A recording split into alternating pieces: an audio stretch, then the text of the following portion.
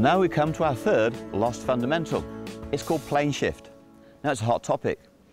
When I travel to America in particular, club pros and amateurs alike buttonhole me and ask me about plane shift. There are lots of varying views and loads of confusion.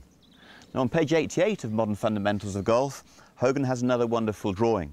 At the top of the page, a picture of him standing under the classic pane of glass. But then, lower down on the page, he demonstrates there are two planes. Mr. Hogan felt that he went back in one plane and shallowed to a more into out plane. And he concedes in the text that if you did that, the ball would start just right of target. To understand plane shift, we need to return to first principles. You remember earlier we had the hammer and the post, and we understood that the most direct blow was the most powerful and the most accurate. We didn't want to affect a glancing blow, we wanted to get a direct blow. Mr. Hogan's interpretation was they went back in perfect plane, moved mildly, and then caught the post a glancing blow. In Hogan's case, it was a very good blow, but it was mildly glancing, and the ball went a little bit to the right of target, as he explained in the book. What I believe should happen, and preferable to Mr. Hogan's interpretation, is that the hammer can go back a little bit off the plane, and then the shift is to the plane. So yes, there is plane shift, but the critical thing is we shift to the plane and not below it.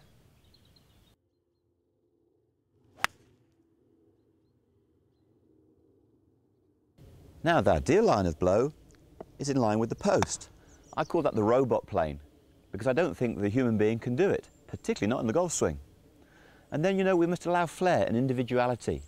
What about Jim Furyk and Ireland's Eamonn Darcy? Have had a wonderful playing careers using a very unusual set of movements. So this I would call the Furyk or the Eamonn Darcy plane, where the hammerhead went back in a variety of plane, but both those guys could find the plane in the downswing.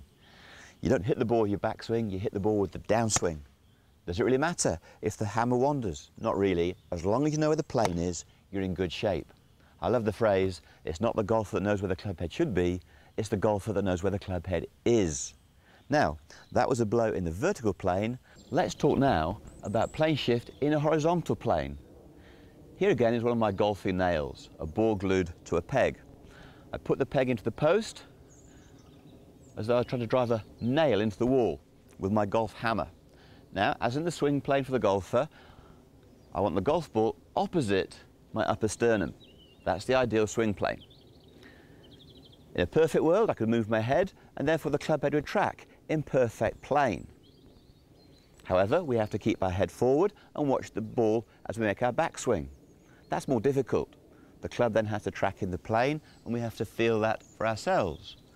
Now, Mr. Hogan in his book said that he felt he went back in perfect horizontal plane dropped a little bit and came from the inside. That's the ball travelling to the right of target. What Mr. Hogan actually did, I believe, is this. He had such a wide takeaway, such an athletic movement, the club head tracked a little above the optimum biomechanical plane. Late in his backswing, it shallowed, and the shift, only a couple of inches, returned to hit the peg at perfect height if he was doing this exercise. So, this is Mr. Hogan's movement at horizontal level, a bit above the plane and to it. If I incline forward, I can address the ball at floor level. And again, it's like driving a nail into the wall. I'm driving that ball down playing with the club head.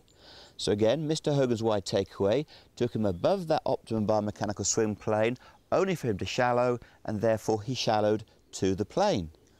So that's the key. You don't shallow below the plane at impact, you shallow to the plane at impact. Now, having discovered that there's a plane shift, some people confuse that with shaft plane, and we need to separate those two subjects and look at them clearly.